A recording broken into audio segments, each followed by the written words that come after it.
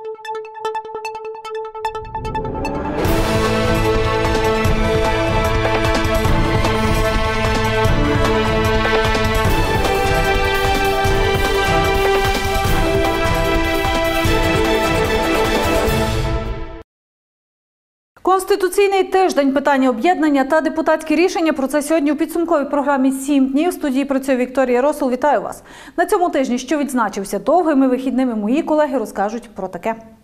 22 роки по тому, 28 червня, річниця Конституції України. Прапор на вершині. Україна понад усе. Земельні питання: хто виграє чи виграє.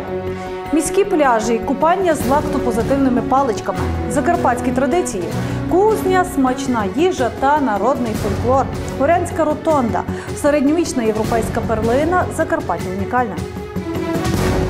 Також сьогодні про те, про що говорили під час форуму, присвяченого Дню Конституції, що вирішували депутати Тячева, Хуста та Ужгорода, коли чекати на підвищення мінімальної пенсії та зарплати, та що таке монетизація пільг. Про це все дивіться в подробицях далі.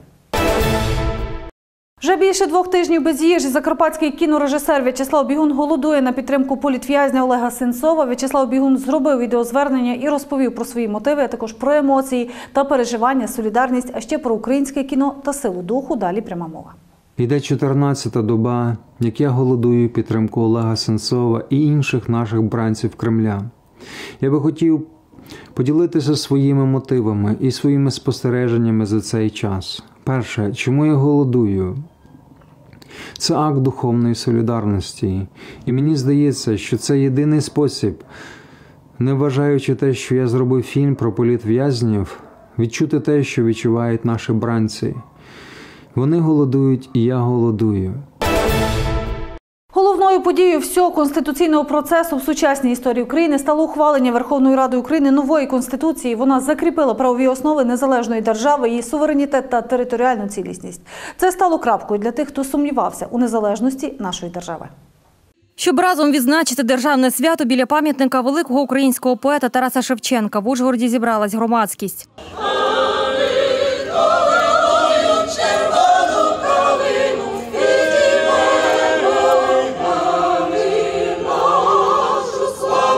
Звідси колона рушила набережною до пам'ятника першого президента Карпатської України Августина Волошина.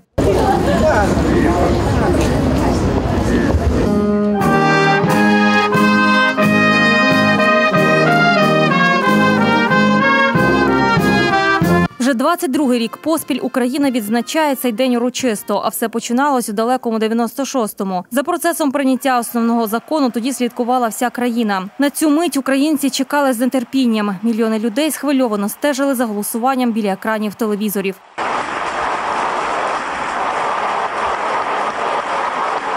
Парламентарі працювали, не знаючи, чи зможуть, об'єднавшись, вирішити усі суперечки та прийняти ту конституцію, яка влаштує усіх.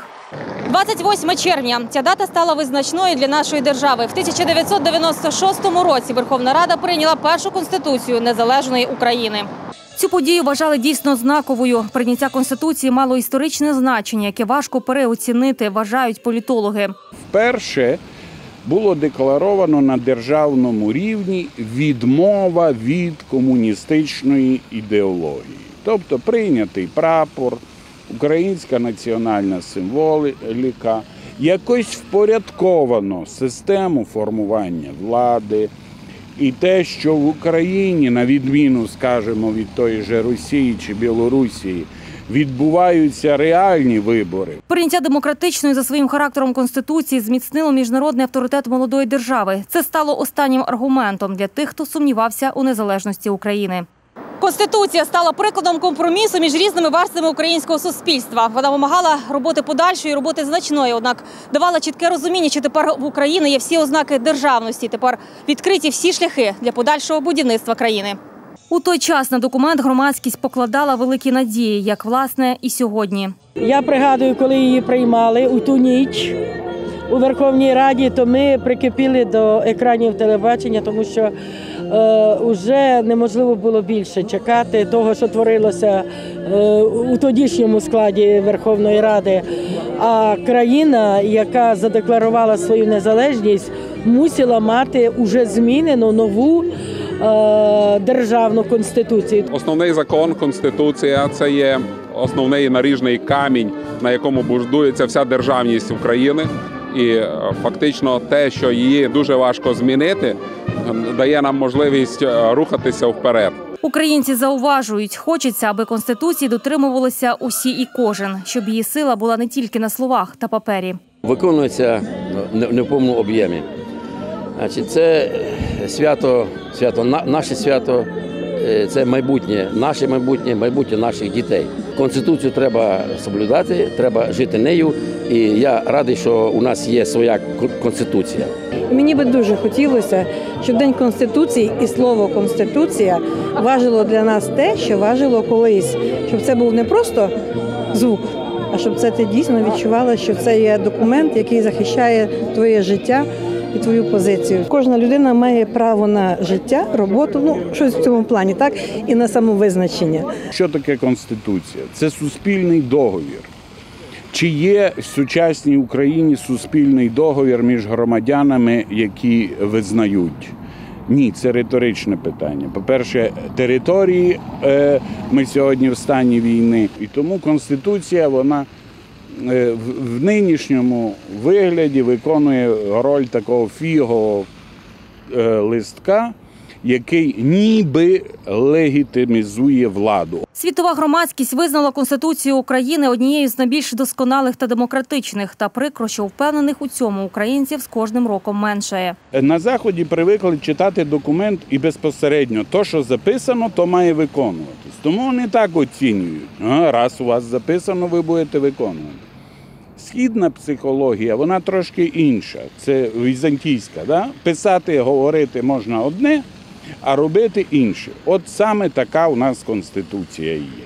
Якщо є е, відчуття якогось е, єднання, да, який об'єднує принципів, то не, не потрібно навіть конституцію. Великобританія не має, до речі, конституцію, але порядка е, ніхто не сумнівається, що англійський суд працює. Ну, не всі виконуються, не всі дотримуються. Є щось міняти, є. Треба міняти. Міняти треба все. Систему треба міняти в першу чергу. Я за Україну, за вільну, за чесну. З 96-го року до Конституції кілька разів вносили зміни відповідно до потреб часу. За ці роки Україна переживала політичні кризи, революцію гідності. Однак люди вважають, жертва тих, хто загинув, відстоюючи свободу і незалежність своєї країни, не була марною. Якби вони не- не вийшли, не захистили, може було ще гірше. Я кажу, що відбувається все, що відбувається, все найкраще. Може, наші діти або онуки помітять от ті зміни, які повинні бути. І вони, мабуть, будуть. Як би не було, Конституція України відповідає європейським вимогам. Однак залишається зробити так, щоб конституційні постулати не були просто записами на папері, а реально втілювались у життя. Закарпаття як форпост суверенності та конституційної стабільності, соціально-політичні аспекти. Про це говорили під час форуму і в Мукачеві. Далі мої колеги.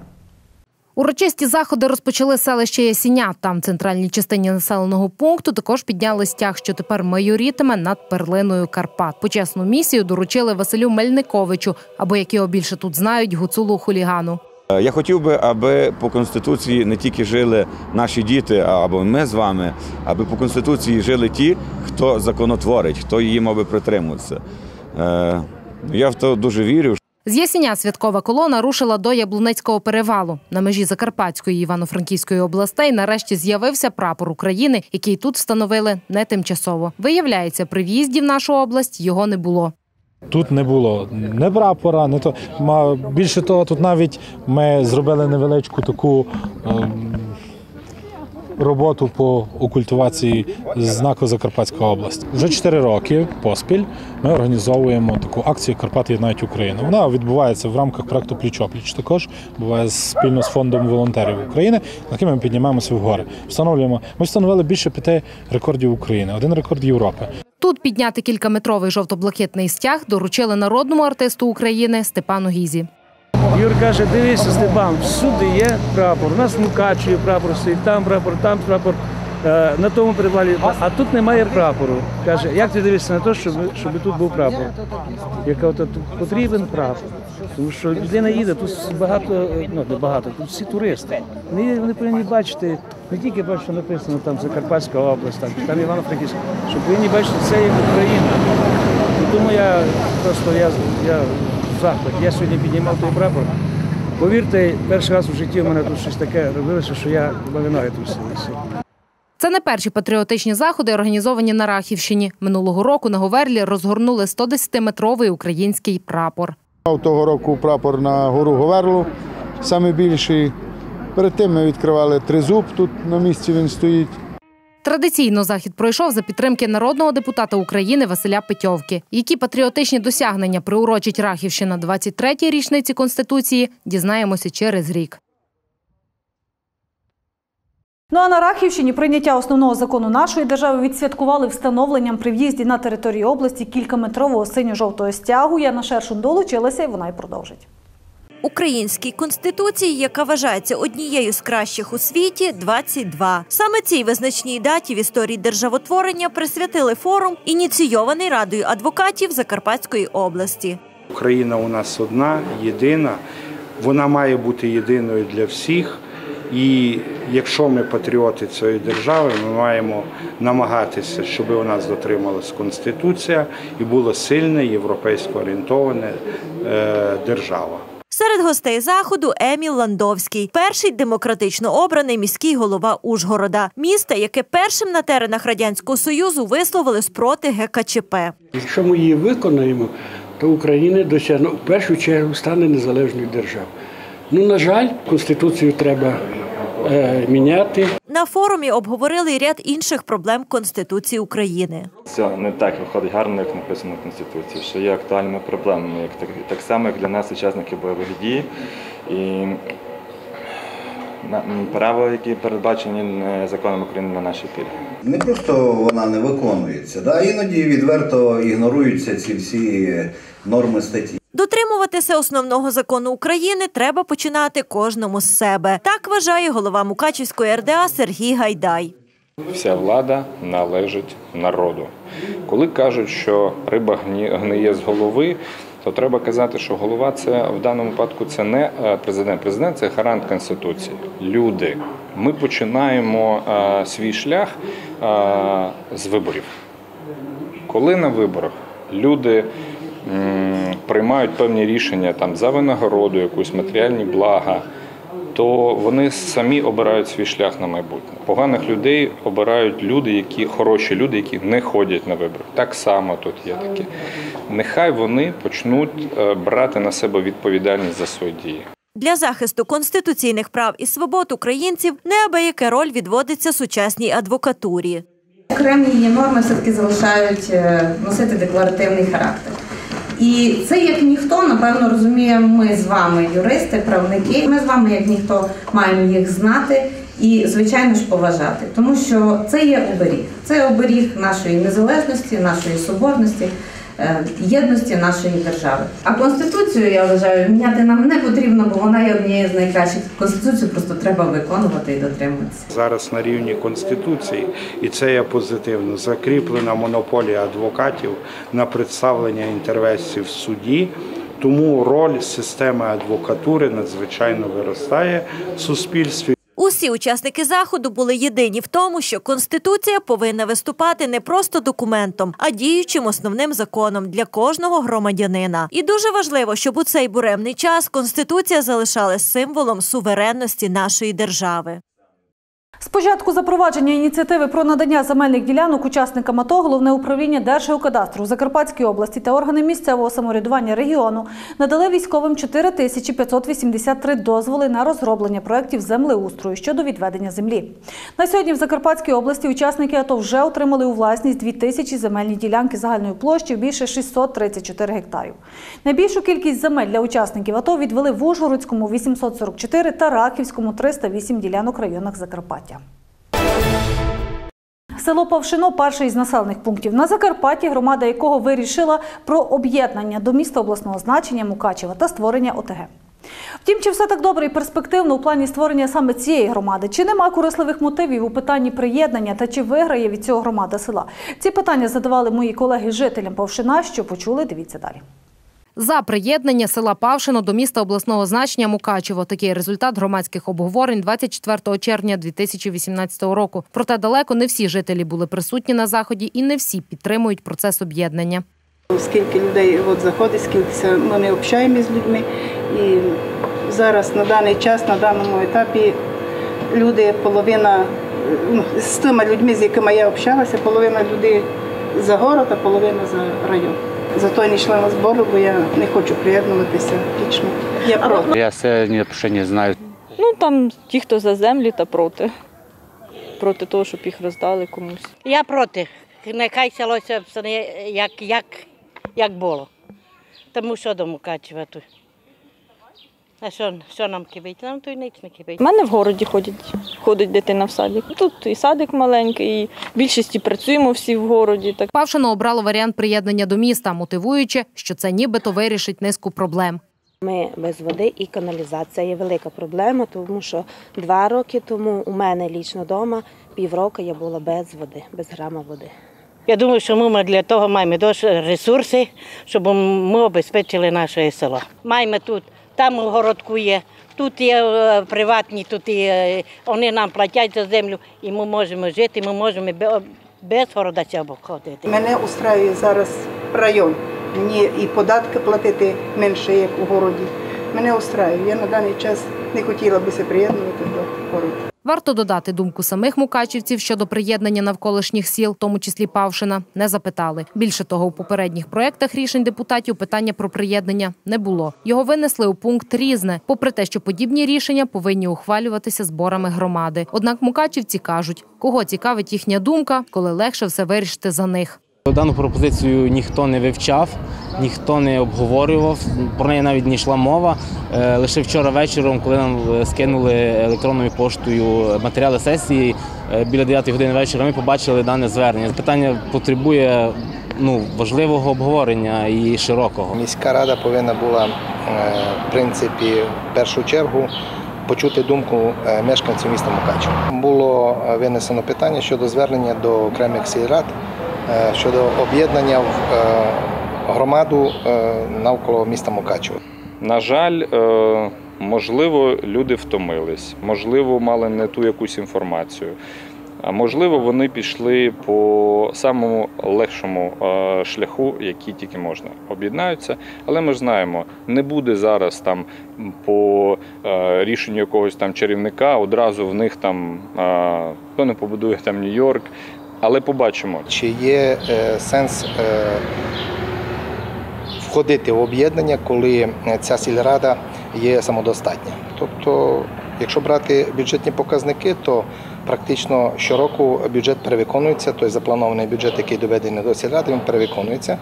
І на сьогоднішній день е, по результатам півроку теж перевиконується. Тобто е, ми бачимо, що е, практично, якщо е, нормально організувати роботу е, сільради, то можна забезпечувати ті чи інші потреби тих мешканців. Бюджет села майже 4 мільйони в рік. Петрокарбохем, гофротара, керамплитка, асфальтобетонний завод, дві заправки, два ресторани, три магазини. Найбільш бюджетонаповнюючі підприємства на території Павшинської сільради. Для невеликого села бюджет значний, тож виникає питання: невже така самодостатня сільська рада потребує об'єднання? Перейшовши об'єднану громаду, то прав на до 2020 року, е, не маючи представника у міській раді, вони в принципі будуть жити на, е, скажімо так, на остаточному варіанті. Тобто Близько 850 жителів. Чисельність населення Павшину. Тут є й окреме компактне проживання ромів. Населення села майже у 100 разів менше ніж у Мукачеві. Проте площа села складає близько половини площі міста. Тому в перспективі Мукачівська ОТС стане суттєво більшою. А площа прилеглих земель лише за рахунок приєднання Павшина зросте приблизно на 47%. Тож цікаво, чи не в цьому секрет термінового приєднання? Елементарно питання землі, якою після приєднання зможуть розпоряджатися мукачівські чиновники, адже в ОТГ землі переходять у власність громад. практично вивільних, е, вивільних участків землі тут понад е, 230 гектарів. Тобто це, це та е, привабливість в першу чергу наших чиновників міста Мукачево, яка тягне, тягне е, це е, село для того, щоб в майбутньому можливий варіант е, розподіляти ці землі для нужд е, не мешканців села, а для своїх власних потреб, тобто е, рішати питання вже на рівні міста Мукачево. Варто додати, Мукачівська міська рада боргує Павшинській сільраді чималі кошти, в тому числі за оренду аеропорту, який розташований на її території. Здесь охраняем майно места, и потому территория, до, земля до Павши, а все майно до места. Хочемо лише землю зняти, територію тоді. Ой, бляха, вы знаете, у меня будут неприятности. Мне сказали только с дозволу міського голови. Подавали в суди для того, щоб повернути незаконно вилучене саме містом Мукачева е, земельної ділянки е, в ту громаду. Земля передана в постійне користування, де і тепер проблеми, тому що там десь Мукачево не так себе повело при визначенні власності цієї землі. Е, Відкрита кримінальна справа, вона продовжиться.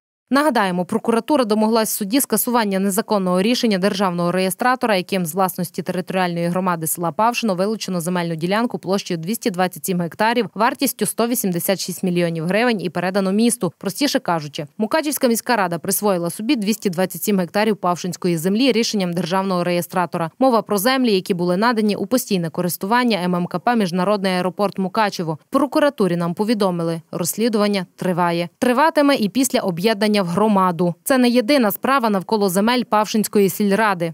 Ми знаємо, що там є е, такі певні суперечки навіть з е, бійцями-атовцями, тому що їм пороздавали е, землі, а виявилось так, що е, це землі належать Міністерству оборони. Ну тут одна з двох ситуацій: або хтось свідомо пішов на такий крок, або ну якась некомпетентність певних якихось службовців. Після об'єднання ставки плати за землю будуть затверджуватися на сесії ОТГ. Сільський житель Павшина за гектар землі, дивлячись на категорію землі, е, платить від 420 до 500 гривень. Е, Слід забувати, що мешканці міста Мукачева мають, е, до, мають мати е, право до 10 сотиків, а, вони, а сільські е, мешканці більше, е, мають право більше 25 сотиків. Тобто зразу ми бачимо, що різко буде збільшуватися е, сума платежу земельного податку, залежачи від категорії земель, земель міські е, жителі платять 800 до 2,5 тисячі за гектар. Інші податки селяни також сплачуватимуть за ставками, прийнятими на рівні міста. Після об'єднання, ну на жаль, так по закону Павшино майже півтора року до виборів не буде мати представників своїх таких вагомих. Е, Що буде далі, побачимо.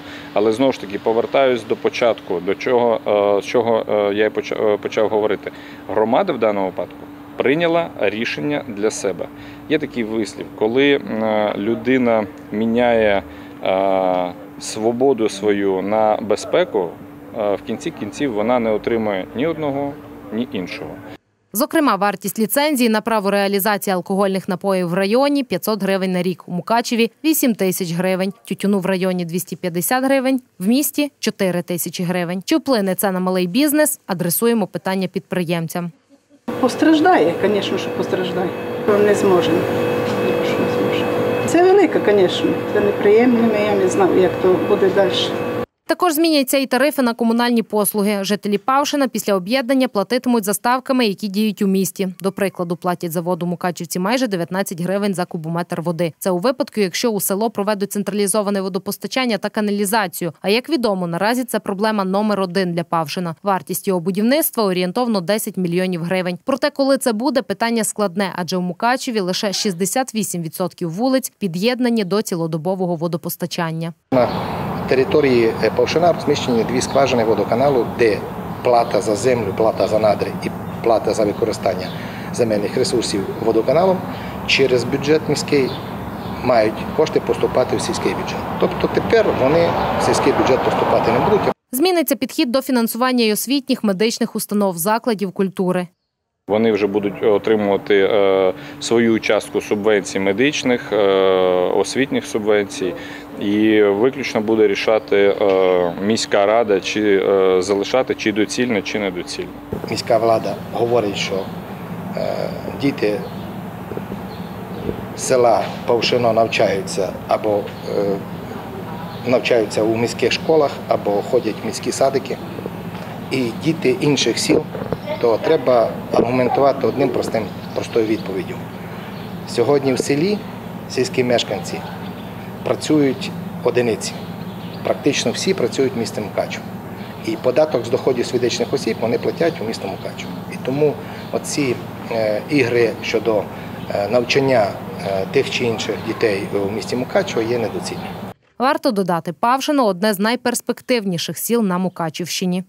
Привабливість цього населеного пункту є в досить великій кількості, великій площі е, земельних, е, земельного ресурсу. Маючи такі величезні перспективи з землею, з аеропортом, з тими інвесторами, які почали заходити, я би все ж таки брав би на себе відповідальність і розвивав би громаду самостійно. Тим більше, що це не так важко, як е, багатьом населеним пунктам, які є е, на Мукачівщині, тому що стільки землі, такі перспективи і такі пропозиції від інвесторів, які останнім часом надходили, ну не отримала майже жодна громада. Вдалося завести інвесторів е, туди. От вони зареєструвалися і будуть будувати сонячні панелі.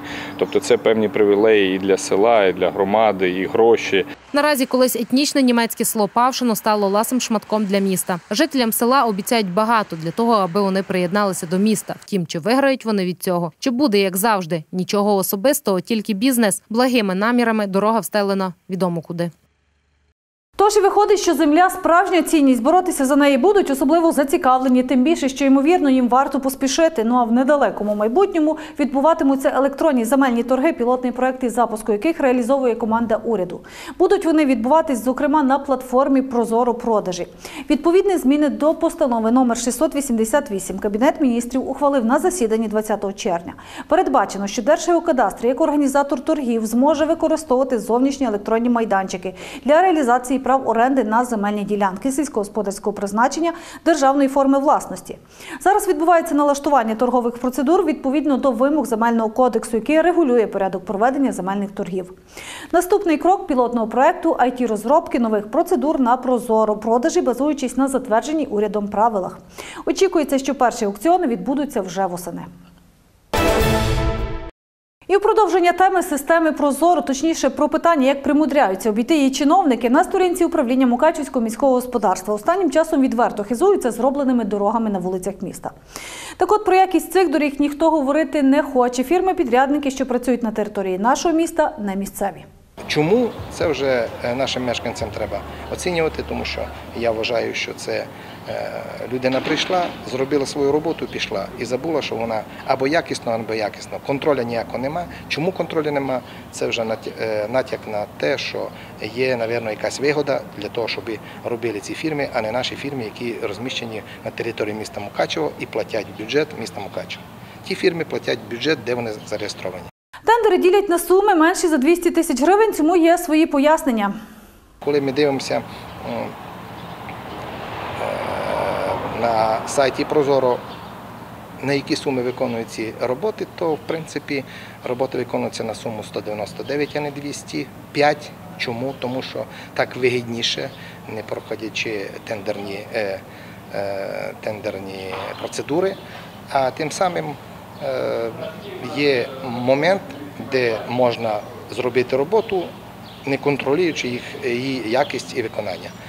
Е, Коли сума є більшою, то наші чиновники стараються е, ці суми розбити на декілька, щоб е, м, сума складала не більше як 200 тисяч. Тобто ми бачимо тут красиву схему, яка вона діє, яка вона е, зацікавлена. Ця схема для того, щоб збагачувалися наші чиновники, які повинні контролювати і доносити до наших людей е, ту інформацію, чи правильно, чи неправильно, чи е, е, якісно, чи неякісно робляться ці роботи. Те, що візуально здається нормально виконаною роботою, на практиці не витримує жодної критики. Зокрема, під час червневих опадів у вигляді дощу затопило пів Мукачева, в тому числі підтопленими були і дороги, де нещодавно поклали новий асфальт. На окремих вулицях, де з'явилось нове асфальтне покриття, відповідно воно мало бути зроблено за всіма стандартами. Навіть не встановили зливні каналізації. Три вулиці були затоплені. Це показало нашу безконтрольність за виконанням цих робіт, безконтрольність за, за е, тим, що е, роботи робляться поверхнісно, е, роботи проводяться без належної якості. Погода цього літа дивує від злив до спеки. Тим не менше, літо вже розпочалося відповідно і купальний сезон. Якщо нема облаштованих місць для відпочинку, люди самотужки створюють такі. Офіційного пляжу у Мукачеві нема, хоча створити його влада обіцяла вже давно. Шкода тільки, що навіть за його наявності купатися на чотирьох пляжах Мукачева небезпечно, зазначають у Міністерстві охорони здоров'я. Вода просто кишить лактопозитивними кишковими паличками. Ірина Грабко спілкувалася з екстремалами, які ризикнули купатися в Латориці зовсім не в сонячну погоду. Питання офіційного пляжу у місті Мукачеві болюче питання для багатьох містян. Створення достойного місця для відпочинку вже неодноразово обговорювалось в Мукачевській міській раді. У лютому на сторінці Мукачево Лайф у Фейсбуці Олег Казебрід повідомив про подану пропозицію щодо відновлення міського пляжу. Вчора на сесії міськради ми подали пропозицію по відновленню Мукачівського міського пляжу на набережній Латориці біля парку імені Андрія Кузьменка. Всі ми добре знаємо, що раніше на цьому місці вдало функціонував міський пляж. До питання відпочинкової зони повернулися знову у березні. На сторінці Мукачево Лайф оприлюднили коментар з цього приводу Мукачівського міського голови. Ви сьогодні ініціювали, дали доручення, щоб в Мукачеві створити е, відпочинкову зону. Розкажіть, будь ласка, де вона буде знаходитися? Це місце, де знаходиться історично, вздовж парку імені Кузьменка вже на сьогоднішній день. Облаштувати рекреаційну зону фактично. Там вже декілька років діє волейбольний майданчик, можна ще додати різні, чи то для заняття спортом споруди, чи то для відпочинку, тобто лавиці, е, бесідки і так далі. Тобто ОНГ має вивчити дане питання вже і почати виконувати, тому що кошти передбачені в фінансуванні комунального підприємства, тобто вони вже можуть це зробити без додаткового І от нарешті, у кінці червня на міському пляжі з'явилися натяки на його оновлення. Та поруч із тим з'являється нова проблема, яка стосується не тільки відпочинку, але й здоров'я мукачівців. Через забруднену воду чимало містян вже давно відмовилися від відпочинку на латориці. Небезпечно, річка грязна, її не прочищають, пляжів нема. Ні, не купаюсь. Підозри людей не безпідставні. Це підтвердили у Міністерстві охорони здоров'я України. У центрі громадського здоров'я при міністерстві охорони здоров'я України з 15 по 21 червня було проведено дослідження якості води на водоймах, які використовуються під пляжі. На превеликий жаль, на сьогоднішній день 96 українських пляжів вважаються небезпечними. Відтак на Закарпатті небезпечними вважають шість пляжів. Це село Ворочеве Перечинського району, місце для купання Дичка, річка Уж, Перечин, місце для купання Залив, також річка Уж. Та найбільше небезпечних пляжів знаходяться на річці Латориця у Мукачеві, вулиця Окружна, вулиця Валенберга, парк Перемоги та район монастиря.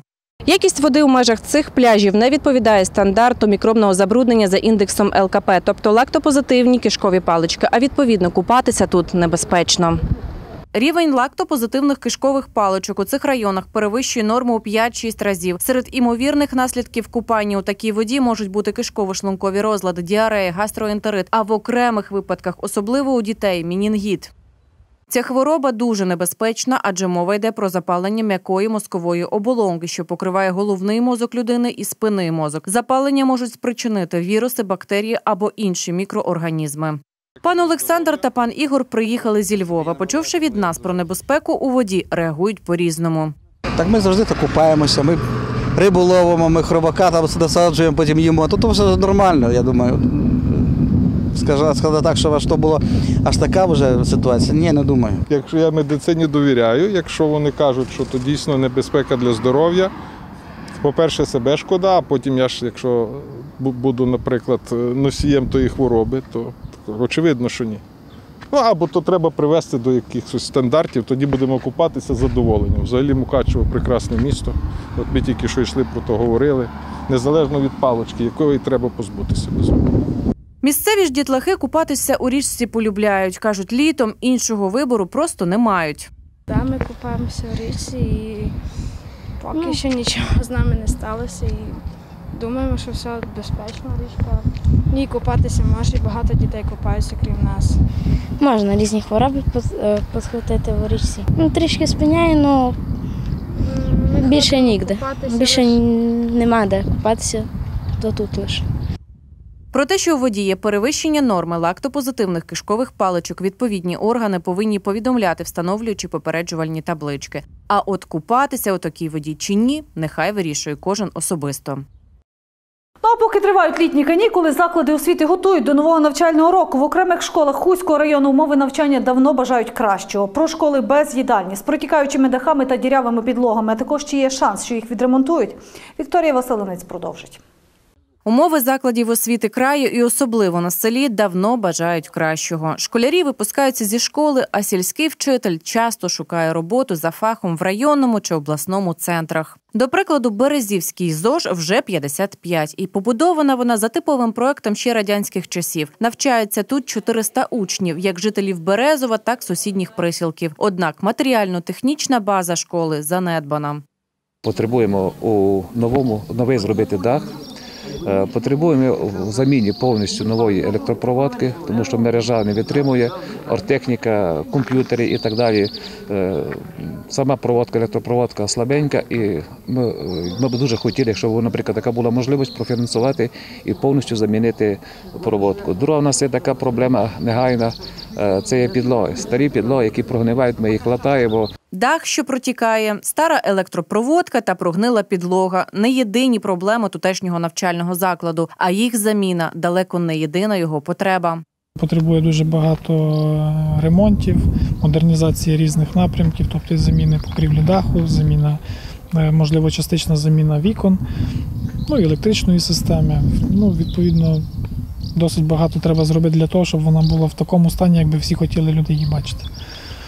Е, Щодо потреб, наскільки відомо нам, що в цьому році має бути в рамках кампанії, яку започаткував Мирослав Золотонич Білецький, е, заміна, часткова заміна е, меблів, часткова заміна покращень освітніх закладів, відповідно і цієї школи. Тут роками відсутні гаряче харчування для учнів-початківців, адже немає їдальні. Свого часу наявний шкільний харчоблок визнали аварійним, а новий так і не побудували. Хоч проектно-кошторисна документація на його будівництво є. З тих чи інших причин е, фінансування поки що не проводилося. Е, З 2014 року проєкт е, пройшов повністю всю експертизу, але, на жаль, дійсно у нас не працює. У нас є невеличкий такий буфет пристосований приміщення. Ця документація подавалася на відповідно на фонд Державний фонд регіонального розвитку, але ну не було відібрано цей проект. І на сьогоднішній день, на жаль, він не є реалізований, але документація готова. Вона потребує оновлення, бо це пройшло вже більше чотирьох років. Тому питання відкрите, але питання глобальне, питання е, коштів досить е, немаленьких. Станом на 2014 рік було близько 6 мільйонів вартість проекту. Ну на сьогоднішній день розуміємо, що вартість е, значно збільшилася. Власне, єдина головна причина невтілення проекту в життя мізерний бюджет району. Представники влади кажуть, харчування березівських школярів на контролі, і вони у пошуку інших джерел фінансування. За останні роки проблемою стало підвезення учнів до школи. Діти змушені долати відстань до школи е, 3, 4, 5, а то й більше кілометрів. І е, час руху до школи для деяких дітей може займати більше однієї години. Шкільному автобусу, який останні чотири роки підвозив місцевих дітей більше 10 років, і наразі експлуатаційні характеристики його, м'яко кажучи, непридатні для рейсів. Директор школи каже, що час від часу автобус ремонтували власними силами. На сесії районної ради е, ми підтримали звернення нашої фракції радикальної партії Олега Ляшка в районі, звернення Михайла Калинича, заступника голови ради, щодо виділення і клопотання до того, щоб е, включити в програму село Березове щодо виділення автобуса іменно в цей край. І е, більш комфортнішим стали умови для того, щоб підвозити учнів. Відповідно, на цьому зверненні були і е, також звернення до Міністерства освіти, до депутата Верховної Ради Валерія Лунченка, до депутата Закарпатської обласної ради Мирослава Золотоновича Білецького. Е, Відповідно до того, що ми заручилися їхньою підтримкою, і ми прикладемо максимум зусиль для того, щоб той автобус був в цьому селі і що він зняв ту проблему, Після відвідин журналістами Березівської школи повідомили новину, що ключі від нового шкільного автобуса за кілька днів вручать в Ужгороді. Після урочистого вручення автобус попрямував до пункту призначення, До його зустрічала громада. Проблем у Нижньобистрівській школі теж чимало. Однак наразі найактуальнішою залишається потреба капітального ремонту шкільного спортзалу, що знаходиться в окремому крилі навчального закладу. Тут протікає дах, відтак намокає стеля та стіни. Вікна теж потребують заміни. Та й підлога у залі має, м'яко кажучи, неестетичний вигляд і також чекає на оновлення. Відтак, у цілому, шкільний спортивний зал має жалюгідний вигляд як зовні, так і зсередини. Однак наразі є шанси, що він буде відремонтований уже цього року. Наша фракція радикальна разом з депутатами районними долучилися до того, щоб залучити цього року деякі кошти для того, щоб зробити хоча б частковий ремонт е, даху, який вже починає протікати, щоб зробити ремонти приміщень, щоб замінити вікна двері. За пропозицією нашого колеги Олега Івановича було зініційовано питання ремонту е, спортивного залу даної школи. Е, Цю пропозицію ми підтримали. І на сесії районної ради було прийнято відповідне рішення, де виділено близько 900 тисяч гривень на е, ремонт даху і е, самого спортивного залу. Аби довести справу до кінця, то спонсорська допомога не буде зайвою. Переконані депутати. Ми докладемо максимум зусиль, за- залучимо благодійників і все-таки ремонт е, цієї школи ми проведемо цього року. Ще освітня установа вкрай потребує добудови, адже у її стінах не поміщаються усі учні. Один клас були змушені виселити у окреме приміщення, що знаходиться на шкільному подвір'ї. Там є шкільна бібліотека, там є медпункт і є один клас, який просто не поміщається в школі, бо немає стільки класів. І нам дуже треба добудову. Щодо Хущини, то цього року спрямовано всього понад 10 мільйонів гривень на ремонти тих чи інших навчальних закладів у різних населених пунктах району. Хуцькі міські депутати зібрались на третє засідання восьмої сесії Хуцької міської ради, на якому зобов'язали жителів міста здійснювати прибирання територій як біля житлових будинків, так і комерційних об'єктів. Інакше штрафуватимуть. Громадянам фізичним особам це обійдеться в 1360 гривень, посадовим особам та громадянам суб'єктам підприємницької діяльності в 1700. Включили до порядку денного і питання, що стосується встановлення на всіх об'єктах непобутового призначення газових лічильників нового зразка, так званих модемів. Адже більшість юридичних осіб фінансово не готові забезпечити облаштування комерційних вузлів обліку газу засобами дистанційної передачі даних. Середня вартість цих з модемами більше, більше 12 тисяч, ну, умовно. Плюс, е, напевно, там є монопольна якась складова, бо е, модеми якби виробляє тільки один завод. Ну, менше з тим. Е, Хотілося внести в порядок денний звернення до Кабінету міністрів Загалом на розгляд обранців винесено майже п'ять десятків питань, серед яких низка бюджетних та земельних внесено зміни до міських програм, що стосуються фінансової підтримки комунальних підприємств та розвитку фізкультури і спорту. Також встановлено у хусті і податок на нерухоме майно, відмінне від земельної ділянки. Окрім того, на сесії йшла мова і про встановлення вставки земельного податку, транспортного та єдиного податків і туристичного збору на 2019 рік.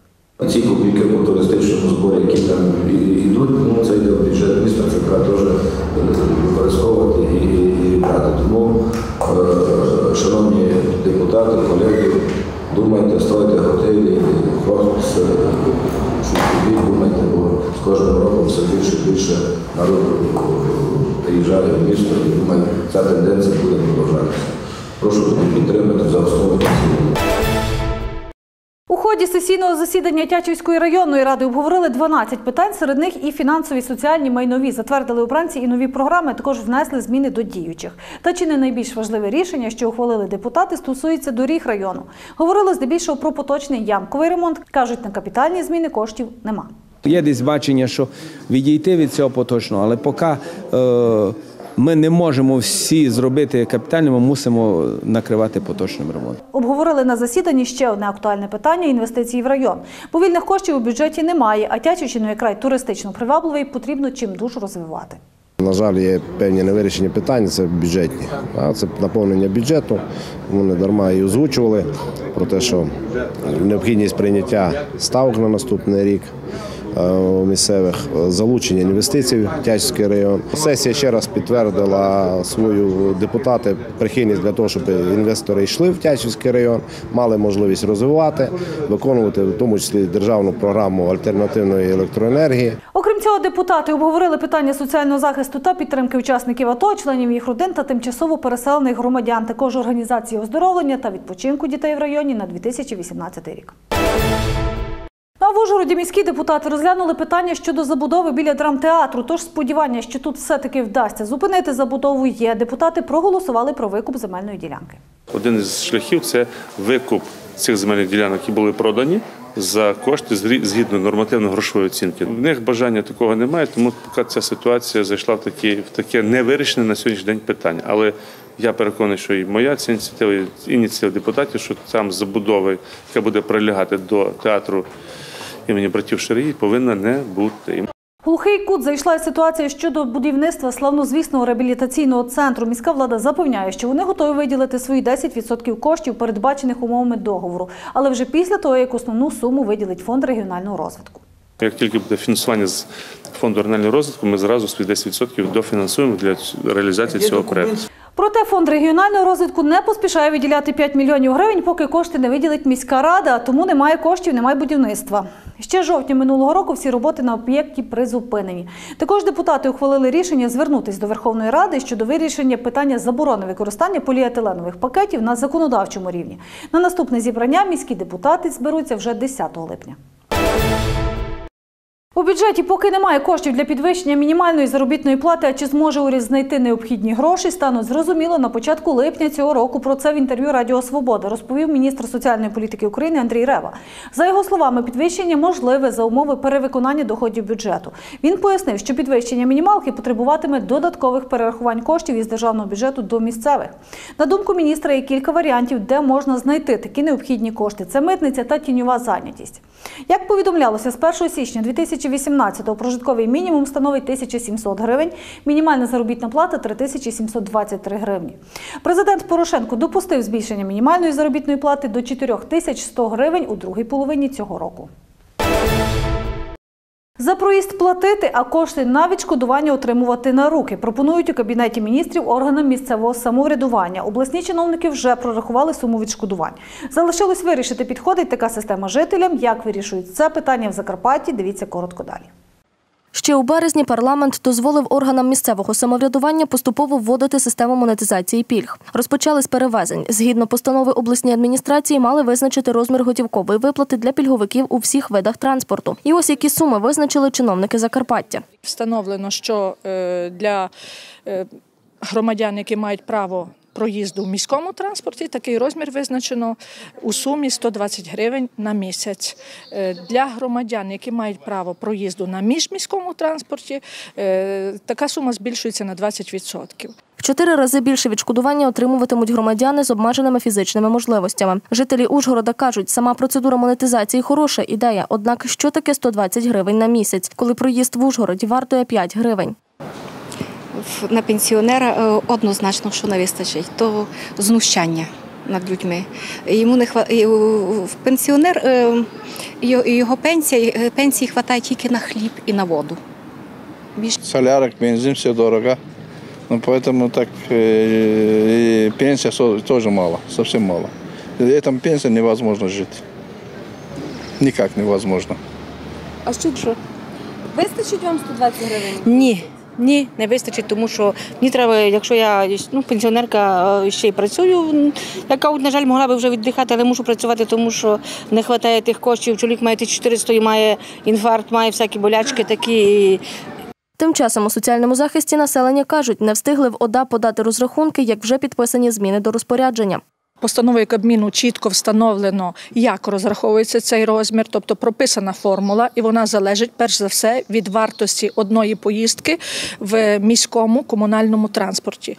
І якщо е, така вартість зростає, то відповідно потрібно робити перерахунок. У місті Мукачево в нас е, зросла вартість проїзду з 4 гривень до 5 гривень, і відповідно е, вже підписано зміни до розпорядження, що в нас первинний оцей розмір готівкової виплати збільшився з 120 до 150.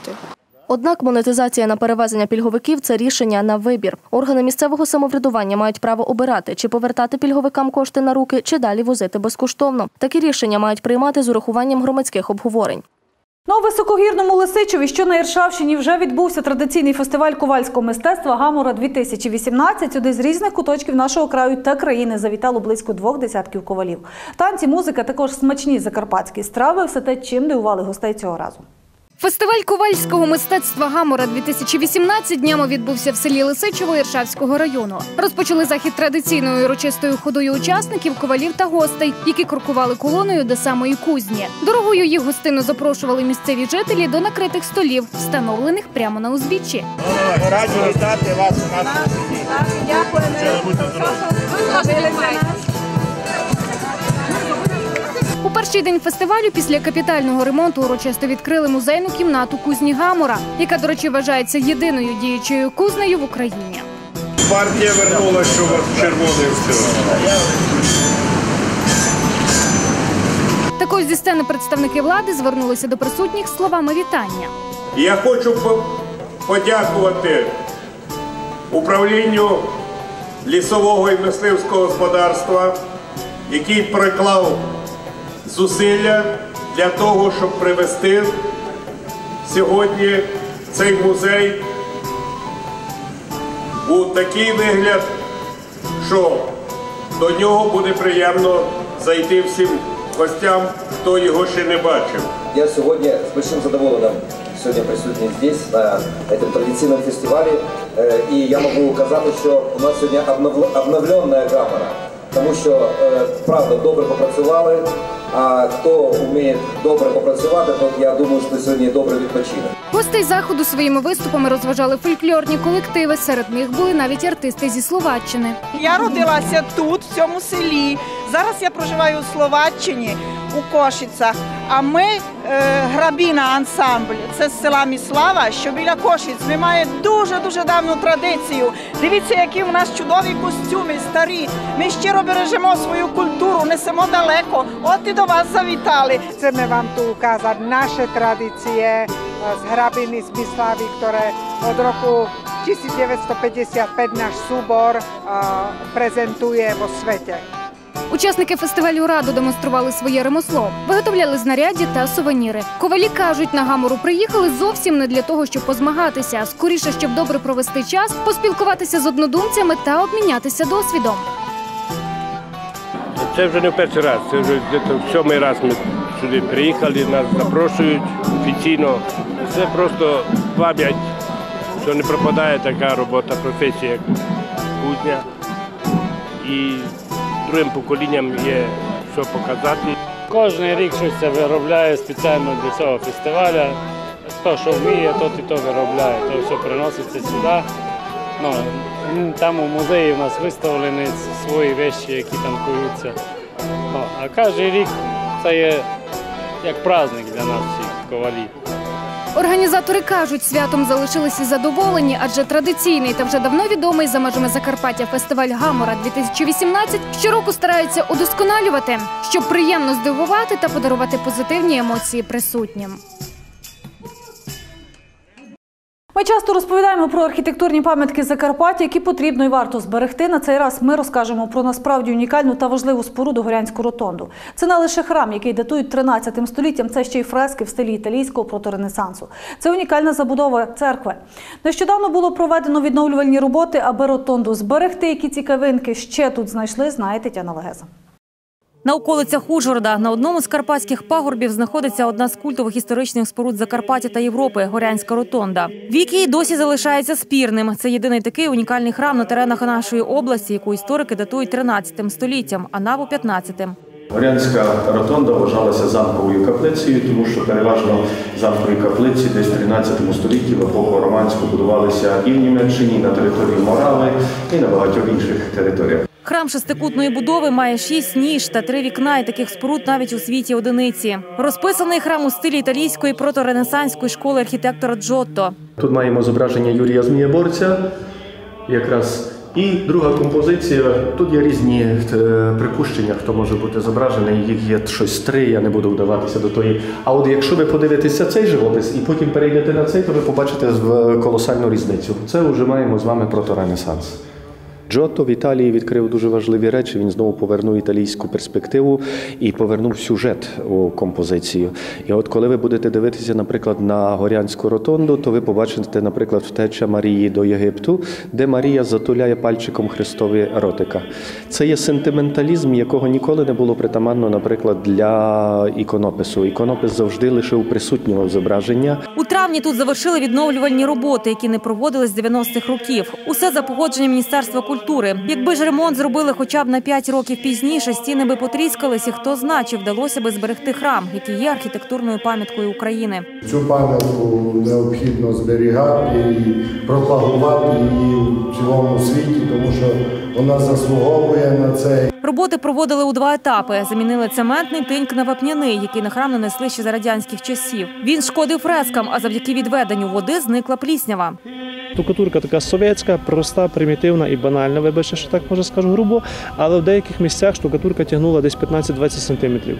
Е, Проблема штукатурки це є цемент, який тягне вологу. Із-за тої вологи був великий конденсат, е, і в церкві було е, знизу видно, що обсипається штукатурка, і на фресках е, робився конденсат. І якщо ви годинку постояли церкві, могли сте бачити, що у вас е, трошки якби порох на вас падав. Горянська ротонда відома ще як костел Святої Анни та церква Святого Миколая. Зараз має автентичний вигляд як кілька століть тому, але список робіт ще є. Зокрема, обробити дах, поміняти купол словом вистачає, які планують зробити найближчим часом.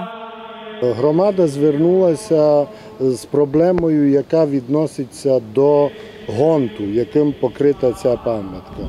Е, Через певний період е, е, дерев'яний гонт потрібно обробляти спеціальними розчинами, завдяки яким збережеться подальші властивості цього покриття. В цьому і в слідуючому році. Але як каже настоятель храму, отець Богдан Савуле, немає фінансування.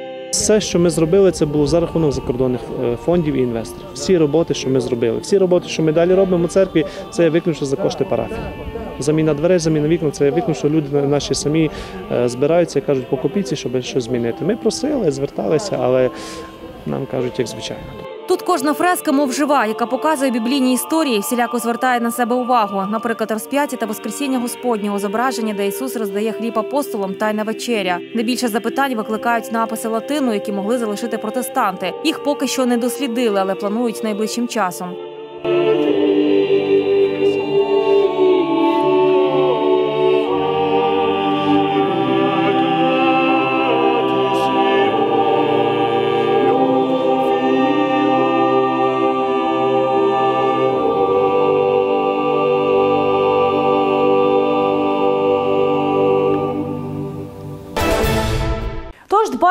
Бережімо про нашу історію, адже хто не пам'ятає минулого, не матиме і майбутнього. Це була підсумкова програма «7 днів. В студії працювала Вікторія Росул. Слідкуйте за новинами на сайті mstudio.net.ua, на сторінці МСтудіо у Фейсбуці і, звичайно, щодня у випусках новин на нашому каналі. Тримайтесь, все буде добре.